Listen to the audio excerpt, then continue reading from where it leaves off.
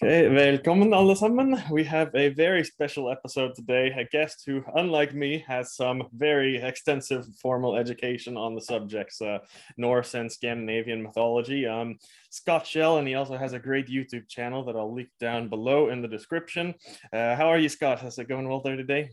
Great. Yeah, thank you for inviting me to talk about uh, the elves and the hidden people.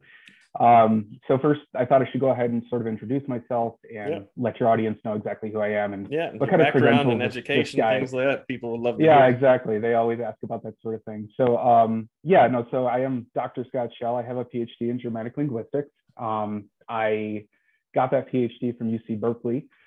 And uh, when I was there, I, you know, I focused a lot on linguistics, like Old High German, Old Saxon, Old English, of, of course, Old Norse and Runology.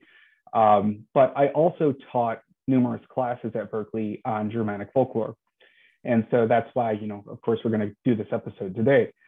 Um, but yeah, not only did I teach courses on folklore, but I also gave various papers like over in Estonia on the hidden children. And um, it's just kind of been, you know, one of my favorite subjects to talk about especially when I teach in class. And oh, the freshmen, the sophomores, they just ate it up. They just they just loved it. Did, did most of the people there kind of take those classes for just filling up the their schedule, or were people really interested in it? I think initially it was because they had to fill up their schedule. Yeah. So uh, then you won them over. I did really. Um, in fact, there were several several reviews rather from some of the students um, where they had, you know, they were usually STEM majors, and they would take my class um, you know because it was like a required english class a required composition class mm. and they were dreading it. But when they arrived there and they saw the reading list and the reading material and we started talking about crazy things like elves dancing people to death. Um, they just they loved it.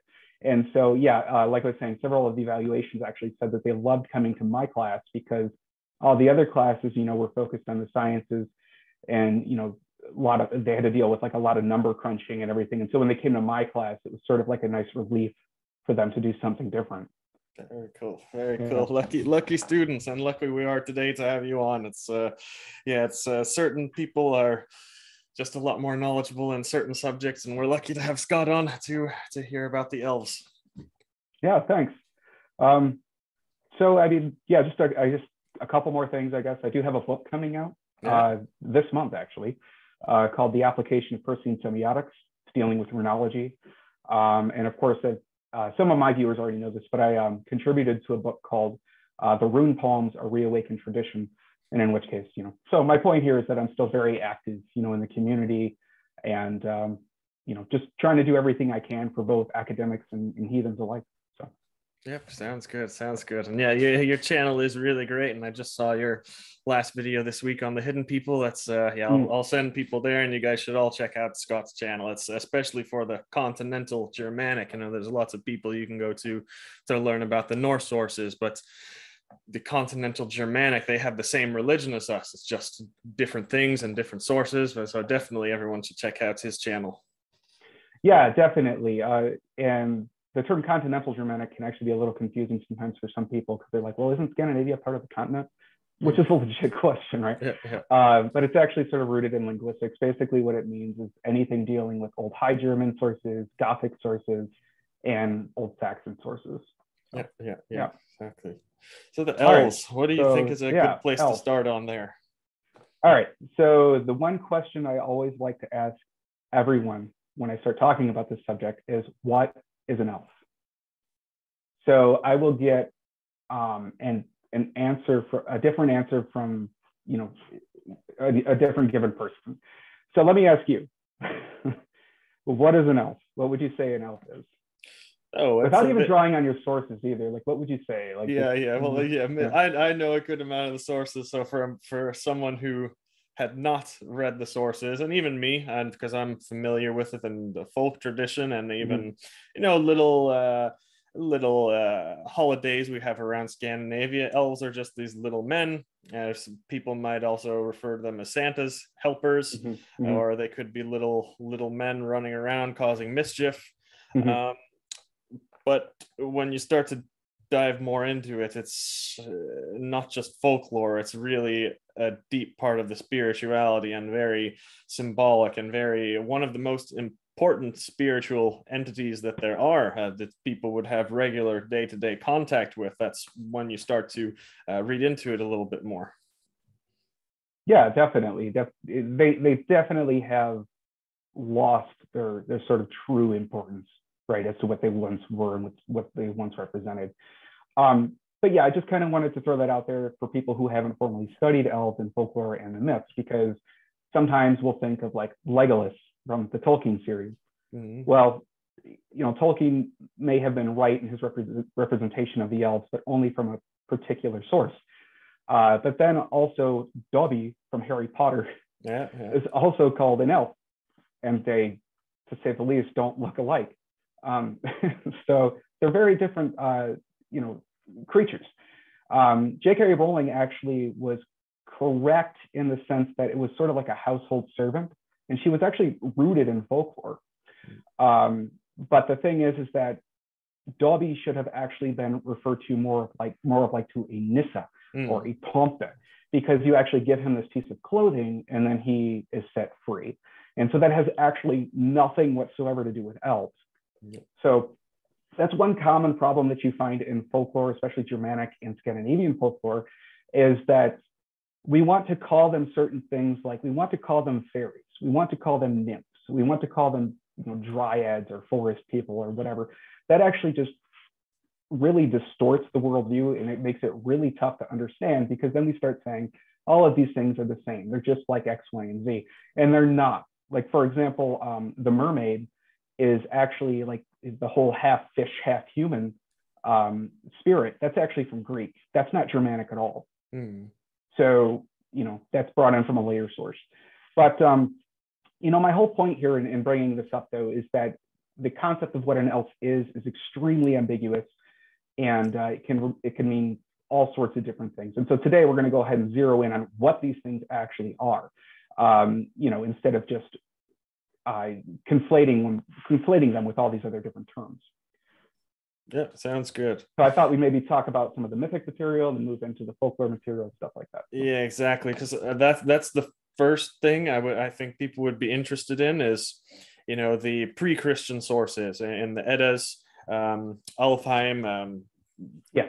light elves, dark elves from the Norse beliefs, um, and of course they're not mentioned as much in the pagan, you know, origin sources as people think. So I'd like to just go over those quickly, what you have to say yeah. on that, and then use that. And what do you think kind of the most important parts are as that continued onto the folklore and tradition then right so the way that elves are depicted in let's just use the prose edda for example snorri because he gives a very good description of them. Yep. um, i don't think we particularly have an exact origin story of the elves in the eddas. I don't nothing is really coming to mind. I mean of course the dwarves with maggots and ymir but i don't think particularly with the dwarves.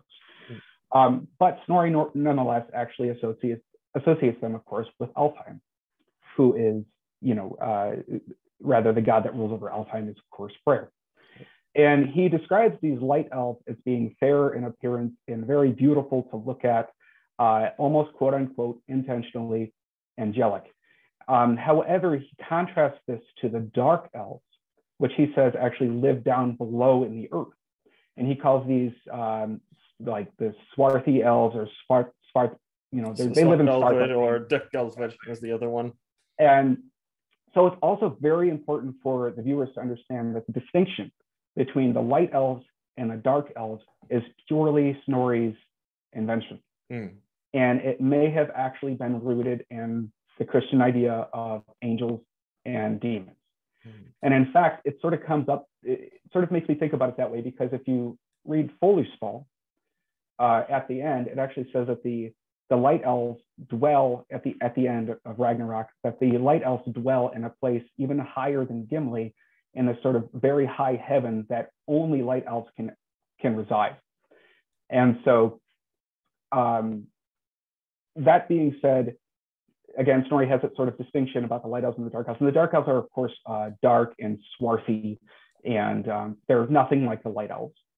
The other thing that I wanted to mention too, though, is with the elves, is that if you look at where they appear especially in the Poetic Edda sources, Mm. the elves only appear when the gods are mentioned. Mm. And it's like uh, a famous uh, phrase from Polisfell, Kvat er med Olsen, Kvat er med Olven.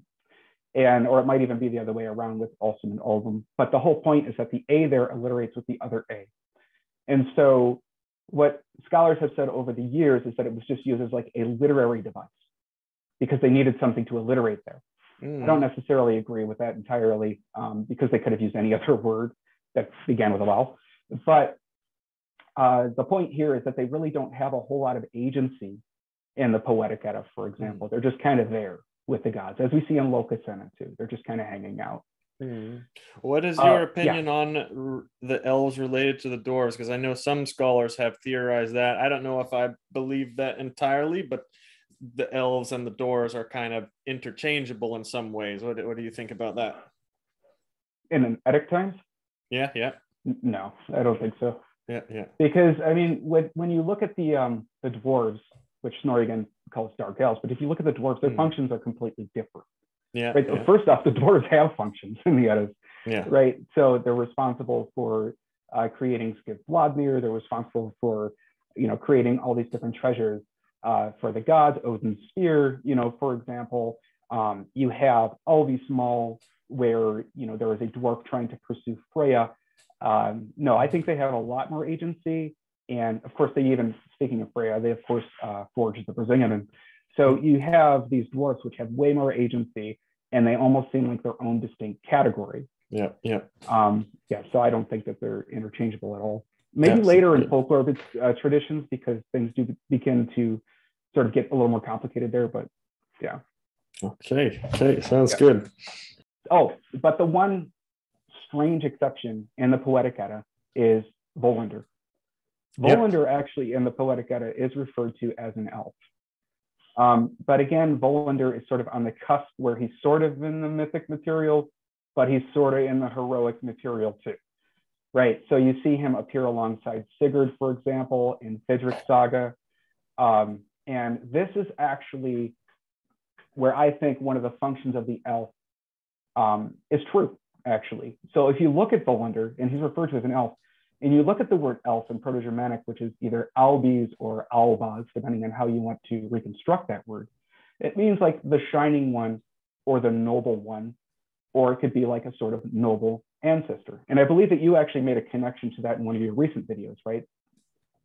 So yeah, that's the the thing that's the main thing, of course, if, if we look a little bit deeper in the symbolism and, and some of the other mentions of elves later on, they kind of seem like ancestral spirits or related Yeah. to the ancestors. But one very clear mention is uh, the tale of Olav Geistadolf, which is a lesser known uh, little part of a saga, and that's where uh, the uh, legendary uh, Olav, a king, is buried in the mounds, and then he's basically instructs the people to bury him in a specific way and specifically do not worship me as an elf.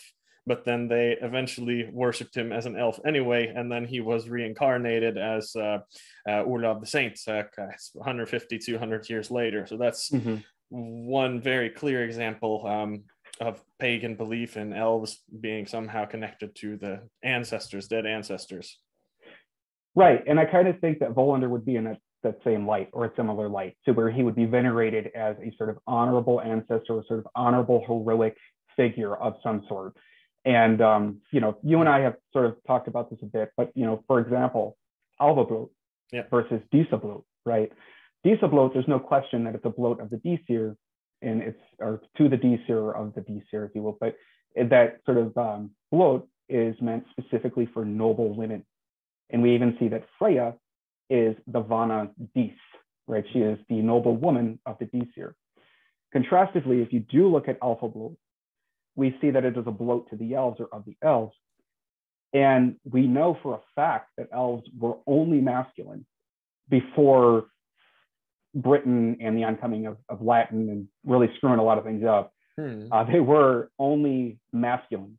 Yeah. And so, and, and then Freyr, of, of course, is, is affiliated with Alfheim and, and the elves as, as well.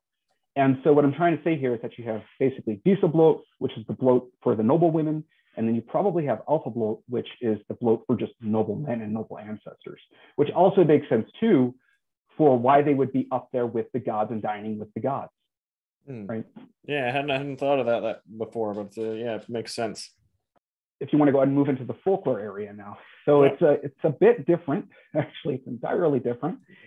Um, but we do sort of see, uh, you know, we do sort of see the um, the elves as ancestors, or they could be ancestors, um, but they can do both good and both evil in the highest degree.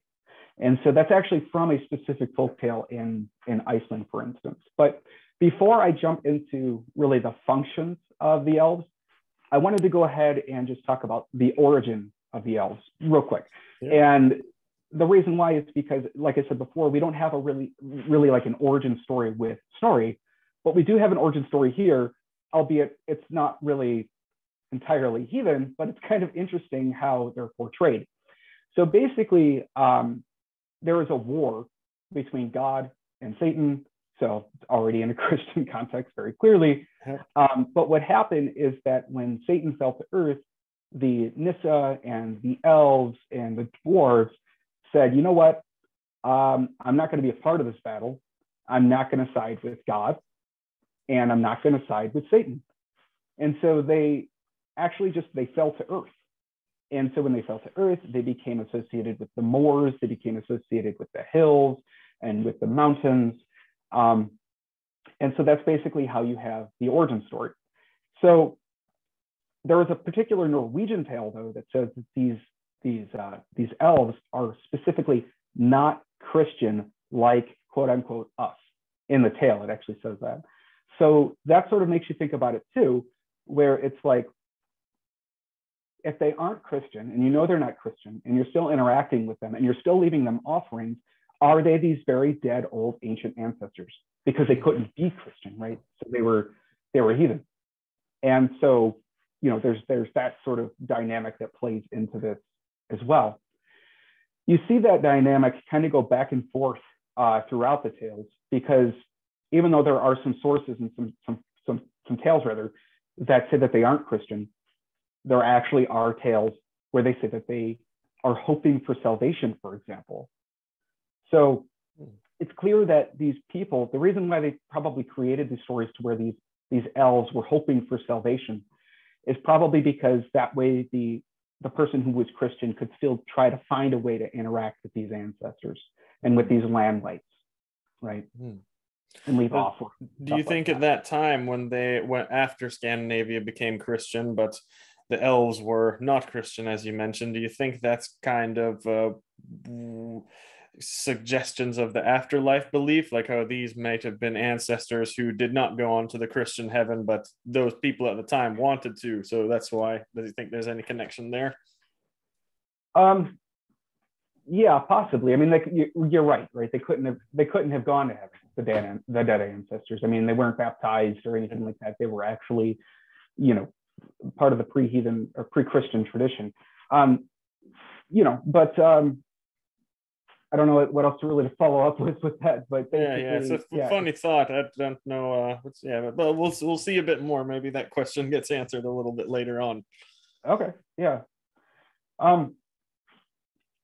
So yeah. So getting back more into the the function of elves. So the function of elves is very different from the the religious material, like the Eddic material. They actually do have agency, but they are not going back to the, the sort of prototypical idea of an elf. They are not little men making presents for Santa by any stretch of the, the imagination. Um, and they are really responsible for causing disease and causing mischief. And um, there, there's just nothing really that great about them. So it also makes you wonder too if that Alva was actually sort of there to appease the ancestors so people wouldn't piss them off and get mm, sick, for example. spoke about that. Right, you know, so, um, but the word, speaking of nightmares, the word Albtraum in German, you say, commonly you say, ich hatte einen Albtraum, which means I had a nightmare. It's very commonly used still in German, the word Albtraum. But if you look at that word, it's the first word is actually elf, And then the second word is actually dream. So actually what you had was an elf dream. So it's it's showing you at least etymologically that there once was a belief that it was the elves who caused nightmares, essentially. Um, so there is, as I had mentioned before, there's also the dancing with the elves. This one is very strange. Um, essentially, I'm going to go ahead and read you a tale here, Archie. It's only a few lines. So, yeah, yeah. Uh, so there is a boy named Jens uh, was herding in the woods once when he came to a place called the Dead Elves. He did not return home with the cows by noontime. They went out looking for him, and when they found him, he was quite out of his mind. The elf folk had danced with him, and from that time he grew no more. He never became any taller than a small boy. So do not dance with the elves. that's essentially what that's about. Um, well, there, there's that form of dancing with the elves, and then there's actually another form of dancing with the elves, which is linked to death. So in this case, it's obviously linked to uh, insanity, right? But around New Year's Eve, uh, if you would dance with the elves, or later on, which became the devil, no surprise there, um, they would dance you to death. Mm-hmm. And so you, you literally could not stop dancing. And it was contagious. So if I started dancing, you saw me dancing, you had to start dancing. And this all sounds really funny today, right? It's like this contagious sort of like disease or something where people can't stop dancing, but they actually danced until they died. Mm. And this is not just some fairy tale. This actually happened. It was called uh, the dancing plague of like, I think it was 1518. Wow. And so, yeah. And so there was uh, this, this dancing plague that spread throughout Europe. So you find these dancing motifs of like dancing with elves and, and dancing with the devil uh, all throughout Scandinavia, all throughout Germany, um, even into, I believe, the other uh, areas, like the Romance areas too, where we have this, this sort of uh, idea of dancing with elves until you die. So, and so uh, the next example is usually uh, tied to elves and taking people into the mountain. Mm-hmm. So this is a very common motif. What would usually happen is that somebody, you know, in a rural village would hear a voice calling him into the moor or into the forest, and, and then, of course, often into the mountains. And what would happen is that this person would follow the voice, and this would be the voice of an elf, usually an elven woman at this point. So you can already tell how late this is because, as I had just said before, elves were only uh, male ancestors. Yeah. Uh, but either way, uh, what would happen is that usually it was like a young boy would get lured into the mountain or lured into the forest. And when they would come back, they were declared insane. They couldn't string sentences together. They were out of their wits. They didn't know where they were. And quite often they were also rendered as uh, mentally ill, which actually leads me to um, another story. So this is, or another, I should say, another subset rather. The elves are actually tied to changelings. So many people have heard of the changelings, but usually the changeling is sort of its own category, but the elves are actually sort of associated with changelings as well. And where we see this, for example, is when um, an elven woman would come in at night and there would be a baby there. But usually this baby had some sort of like birth defect, mm. right? And, um, or how the story goes is actually it's sort of like the baby's actually perfect. and what happens is that the elven woman comes in with her own baby, which has a quote unquote birth defect. And what would happen is that the elven woman would swap out the supposed perfect child with her own. And then the the parents would actually wake up and see that there are there are issues with the child. There are like physical deformities, for example, and then they would blame it on the elves so that's kind of an interesting idea of seeing how these people dealt with medical illnesses. Um, basically by saying, well, this wasn't my child because he was, you know, my child would have been born with with both eyes, but this one's obviously missing an eye. So the elves must have come in overnight and exchanged our perfect child with one of their own. Mm. Yeah, yeah, that's a, a big uh, part of the folk tradition too that I can remember if they would call birthmarks and like birth spots, they would call them like elf wounds or elf burns. Um, mm-hmm. the, the, it kind of ties into the same type of thing. Yeah, it does. Um, so they were called like elf. Uh, let's see, I have a list here actually. So let's see, uh, we got Danish, Elvis Kud, uh, or which is actually Elf Shot. Yeah, yeah. And I can't pronounce Danish, so I'm sorry if it sounded terrible. uh, we have uh, Norwegian Elfskot, uh, and in German we have Elbschuss, which is not used anymore in modern German, but you know it's, uh, it's elf shot, in which case was literally the elf shooting someone to inflict a disease. Mm-hmm. And they also had Elbstich, which is like an elf stab. Yeah, yeah. Um, we still see that in German, in modern German, with the word Hexenschuss, which means lower back pain. Hmm. Uh, so it's literally like a witch shot that they yeah. still use to this day. Yeah, so. yeah. A troll shot too is um, something also always used. I wonder if it's kind of troll shot is almost always considered like a curse that's done from a witch or something in the folk tradition. Yeah, is, yeah. is elf shot pretty much the same?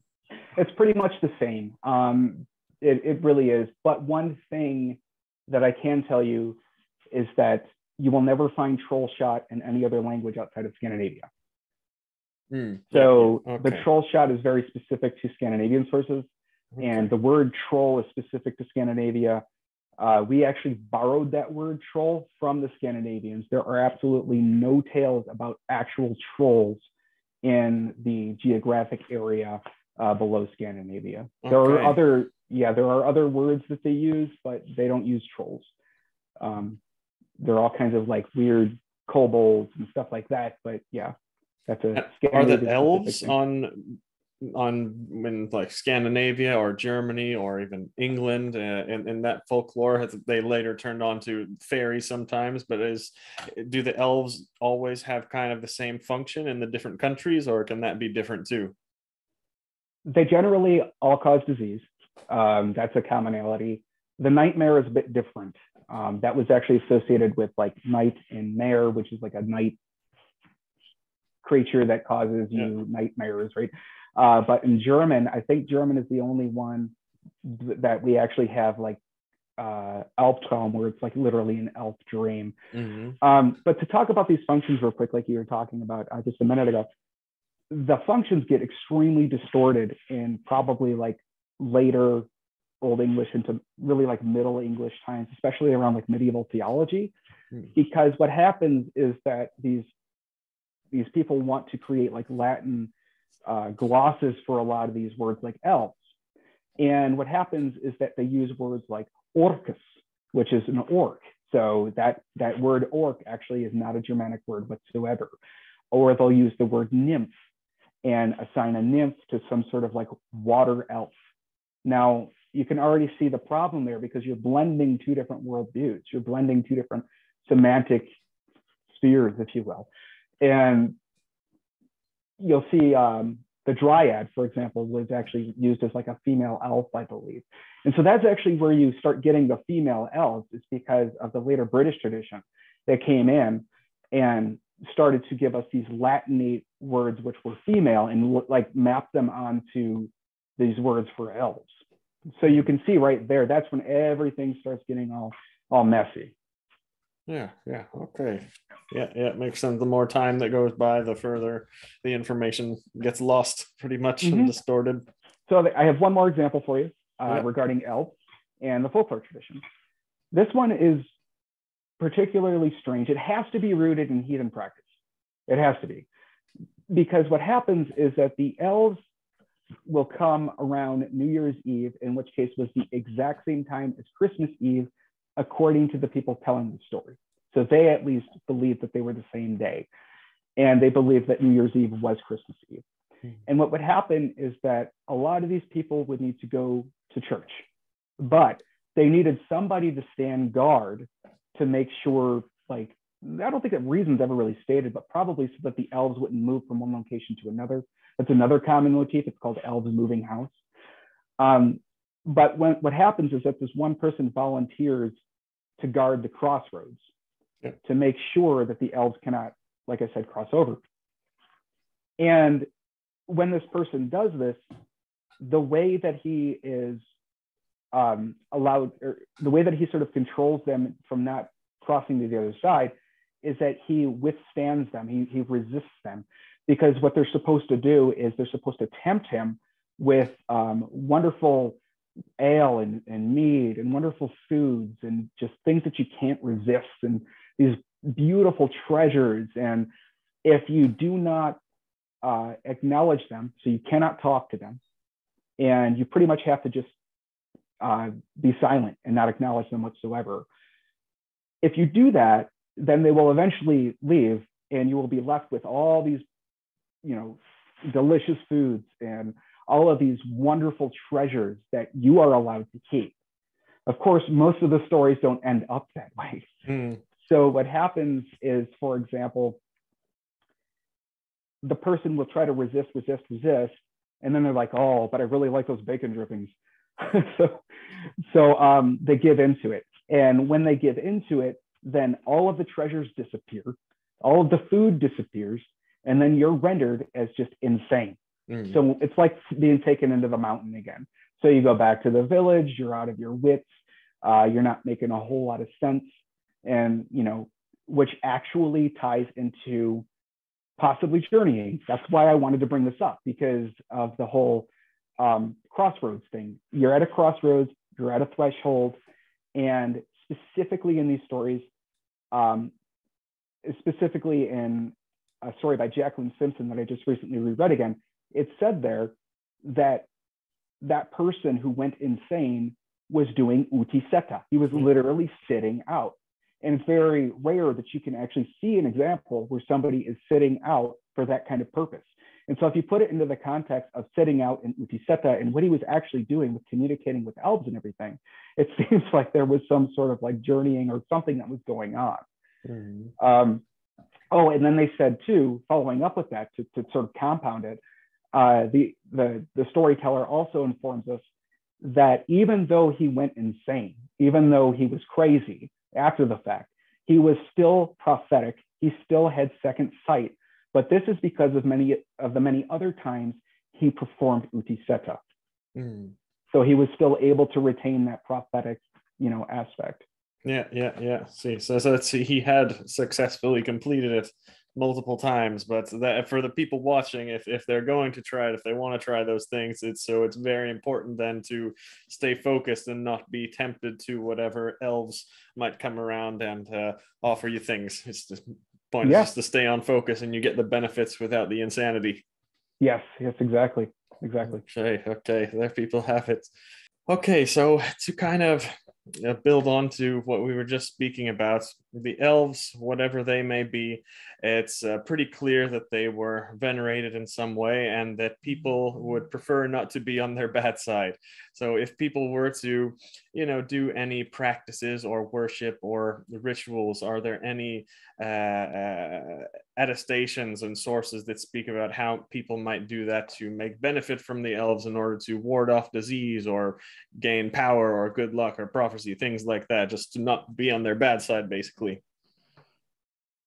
Yeah, I mean, so as far as uh, not be on their bad side, like I said before with the álfablót thing, that actually makes a ton of sense, right? They want to start, sort of steer clear of those diseases.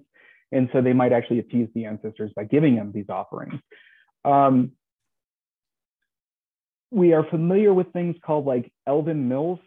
I don't know if are you, are you familiar with those? No, no. So basically, so there's like a cup in a stone, right? So you have like a stone and, and basically there's a, a cup that someone sort of makes, or maybe it was even like a natural indentation. And historically, that, those were actually associated with elves too. And what people would do to presumably appease the elves is that they would leave offerings in those cups. That's why they're, they're called elven cairns or something like that, or elven mills. And in fact, um, it's from this book here, uh, Trolldom. Yeah, so yeah. anyone wants to check that out. Um, the author Johannes Gårdbäck, who is just fantastic, um, talks about how people would prime that that cup with butter. And so that's actually historically accurate too. So, I mean, if you're going to leave uh, an offering in one of those stones, one of those stone cups, make sure you bring a stick of butter, I guess, right? So yeah. make yeah, sure you, yeah. and and then what happened is that they would butter that area, and then they would place the the offering um, in the cup once mm. they sort of primed it with butter. Uh, so I mean, going off of that too, there are all kinds of other um, instances in this book. So I highly recommend it, you know, to your audience. Yeah, yeah. Um, but there are all kinds of uh, practices in here dealing with elves to sort of appease them. like you were just saying, and to make sure one doesn't get sick. You know, for example, um, some of them are very practical. Some of them are off the wall crazy. so, you know, for example, there's one that says, uh, if you want to get rid of a woman, take her shoe, urinate in it while she's present, and take that shoe that you've urinated in and throw it over your right shoulder, and she will never return. Yeah. oh, there, there's some more dirty ones than that in there. oh, for sure. Yeah, we won't speak sure. about that. People can get the book, but yeah, it's uh, it's amazing. and, and Johannes is uh, I, I have nothing but good things to say about him. He's uh, yeah, and everything in that book he he lists the century it was recorded in so people know that this is not any new age stuff it's like actual yeah. uh, historical practices not not going back to pagan times but i think as old as the 1400s they have some stuff in yeah there. yeah yeah it goes back to, i think yeah like you said 1400s 1500s 1600s and he doesn't distill anything so you may find some charms in there which are not um, which are pretty heathen but then that's just the way that it's recorded because mm. later on you'll see charms where you know God is mentioned and mm. Mary and stuff like that. Um, but then again, too, you have to ask, what is so Christian about them taking a branch from a tree at midnight on Thursday, so it can't be touched by the sun and it can't be cut by an iron knife. It has to. It's like all these different weird ritual directions, right? That's that that's that's rooted in their tradition. Mm. Just throwing Mary on that spell or throwing Christ on that spell is actually really the Christian veneer, mm. right? I mean, so you're actually dealing with a lot of different pagan elements there. And I can attest that the idea of not cutting something with an iron knife, for example, is heathen. Um, it's attested on the Eggja runestone, for example. So okay, yeah, yeah, yeah, yeah, yeah. Okay, very good. I remember we, I don't know if I saw it in one of your videos or if we spoke about it. Was it there something, some ritual that has to do something, leaving an offering at a waterfall or a prayer at a waterfall, something like that that I remember? So yeah, we didn't get to talk about like water spirits, um, mm. but oh, oh yeah, okay, I remember. It was the old Saxon rituals um, ah. that yeah, you were actually forbidden to do any sort of activity at a waterfall whatsoever, which I think yeah, it was including offerings. Okay. So even right there, it tells you you are specifically not allowed to do that. Yeah. yeah. Um, and it, we do actually have again historical sources in the folk tales, for example, to where people went to the waterfalls to get better at playing their instrument they would mm-hmm. actually interact with a water spirit there and somehow they would become better in their skill. Mm. um, you know so that's there's an obvious correlation there. Yeah yeah okay. Yeah no, no elves mentioned that particular thing but uh yeah that's something i remembered. All right any i'm taking like two patreon questions here. I think we've answered um most of them uh, just in this video, but a couple quick ones. Okay, we have a question here from MN.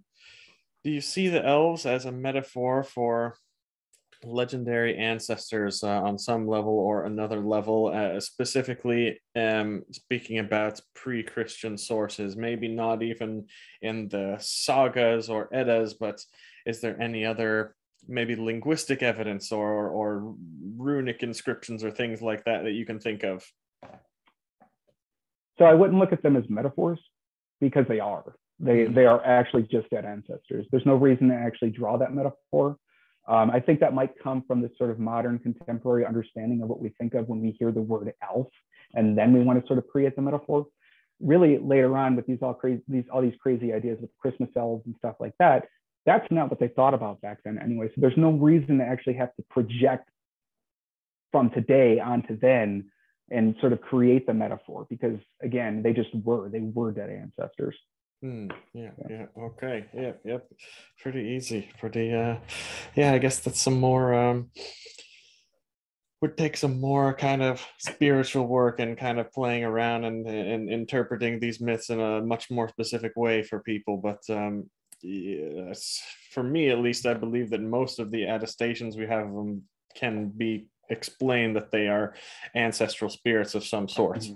Um, and, and we have different uh, cultures around the world believing in things like this too. Um, that's especially yeah. that there's uh, and you did a video on different parts of the soul, which was really good. I think people should check out too. But in mm-hmm. a lot of cultures, especially Asia, in Oceania, they believed that they had a little person. They didn't call them elves. I, f- I forget the name for them. They have different names in different countries, but it's they have a little elf like in the center of their body, and that's that's the one hmm. that's basically like controlling them in life and in death.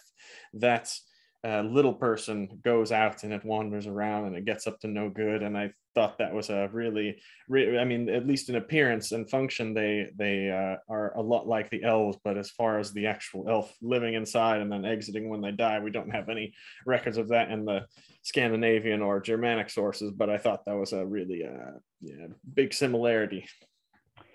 Yeah, no. Um, I'm trying to think of the different parts of the soul too, which I'm quite familiar with. But, yeah, it's no, no um, I can't think of any either. The, the closest the thing could, be, be like a fylgja, but then you even have to argue that the fylgja is a part of the soul complex. Yeah, yeah. So, yeah. Uh, right, or maybe it's just the the fact that they are that sort of high noble ancestor. Because again, if you link it to the Dis or the Disir, and you have Freya being the the noble woman of the Vanir, there's nothing about a Dis that needs to be a part of the soul, mm. right? That's just sort of like the disposition of the the being or the figure. And um, we know, for example, that uh, in Old English, we have all kinds of names that are recorded that have the word elf in them. And these figures were actually very noble people. So uh, some examples here are uh, Alfred, which is literally elf council. And we have Alfric, which is like elf power. We have Elf Beorst, which is elf bright. And we have Elf Noth, in which case is I think Elf Valor or something like that. Um, and so the majority of these names are actually recorded, like I said, with instances of men with um, high noble rank. So going back to the soul thing again, um, I think it's more of a status and disposition that one becomes or is an elf, mm. just like the Dis, like the noble woman. Um, so, I mean, I don't know. Maybe there's some sort of idea tied to the soul, but if we are contrasting it to like the and Álfablót and the Dis versus the the Elf, then it makes more sense for like rank and disposition to me anyway. Yeah, yeah, very interesting, very interesting, and and those names, right? The Alfreds and the, mm-hmm. all the especially the Old English name. It's it tends to be like kings and noble class people, right? Yeah, you don't yeah, exactly. see regular people a lot with those names. Is that is that no, right? I mean nowadays, yes, but of yeah, course yeah. The, the belief system isn't here anymore. Yeah. So like the, the name Alfred is still somewhat common, I think. Yeah, yeah, yeah. Uh, yeah. Very cool. That's, that's an interesting thing to speak about. Okay, yeah. Is there anything else? Anything else that you'd uh, like to speak about the elves? I think we've answered all the questions that have come in um, and spoken about a lot of things. Anything else that you feel is uh, important to add? So, uh, first and foremost, I am an educator, of course. Uh, so, to that end, what I wanted to do is go ahead and recommend some sources for your audience. Yeah, yes, um, please. Because I do know what it's like not having a clue as to what you're doing, and you go to random Google and you say books on fairies, and you know, it's already, you know, like I said, the word fairy is already problematic too because that's actually a, a Latin term. My point is though is that you don't really know what the heck you're going to get yourself into. Um, so as I had mentioned before, there's Trolldom by Johannes Gårdbäck, right? So I guess we can go ahead and put these in the description below. Yeah, I can put them in the description and put it up on the screen here too. And we have, this is one of my personal favorites. This is Scandinavian Folk and Belief, yeah. or Scandinavian Folk Belief and Legend by yeah, yeah. and Sehmsdorf. This is excellent, especially for any of your viewers who want to go beyond the elves, but want to really understand that soul complex system because there are tales in here about um, the hug, like which is like your mind hmm. stealing your neighbor's milk or something like that. Or and uh, there's tales in here about death and the fylgja and so on and so forth. So yeah, I highly recommend this one. Um, I used this to teach at Berkeley. Mm. So really, I, I, got that one just recently last year sometime, and it's just there's no, we have books of folk tales all over, um, and mm-hmm. you can read the folk tales like stories like that. But that one is just so good at like taking little excerpts and organizing it by subject like that. So it's, it's perfect. perfect. It's like yeah. it's like an encyclopedia for people who want to get into this stuff more. Yeah, definitely. It's also a nice, uh, nice read just to lay down and you know read a couple stories and then you pass out. So, yep. uh, this is also one of my personal favorites. I use this at Berkeley as well. This is by Jacqueline Simpson. This is, uh, there we go, Icelandic Folk Tales and Legends. So Jacqueline Simpson is just an all around really good scholar. And uh, she actually wrote an article called uh, The Ambiguity of Elves, which inspired me to ask you, what is an elf? Because she kind of goes through that and, and talks about what an elf actually is. So, um, really good scholar there. Just two more. Uh, I got one here by, actually, I lied. I got a few more. I got one, one here called. People uh, are thirsty for this information, I'm sure. Hey, look, look, like this it. is the thing, right? It's like if you if you're really dedicated and really truly honestly interested in pursuing these things, you're going to want this kind of information. So Yeah, hopefully yeah. some people do get something out of it. Absolutely. Um, this is the tradition of household spirits. So ancestral lore and practices. This is actually by Claude Lecouteux right there. Hmm. Uh, this is really cool because it, of course, it talks about the folk tradition and it talks about you know these these these house spirits that you're supposed to interact with. But they actually like he actually goes through and gives you certain pictures, for example, of where you see this art, right? And like tales sort of tied to um, how one should integrate the belief system into the house and into the practice. And Claude Lecouteux is an amazing folklorist. Uh, he's got a PhD.